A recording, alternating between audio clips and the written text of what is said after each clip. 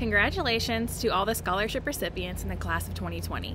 My name is Sadie Spencer, and I am here to present this award in memory of my mother, Donna Aronson.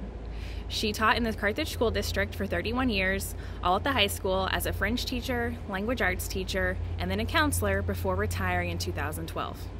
I'm excited to announce this year's winner of the Donna Aronson Memorial Scholarship, Kale Schrader. Congratulations, Kale.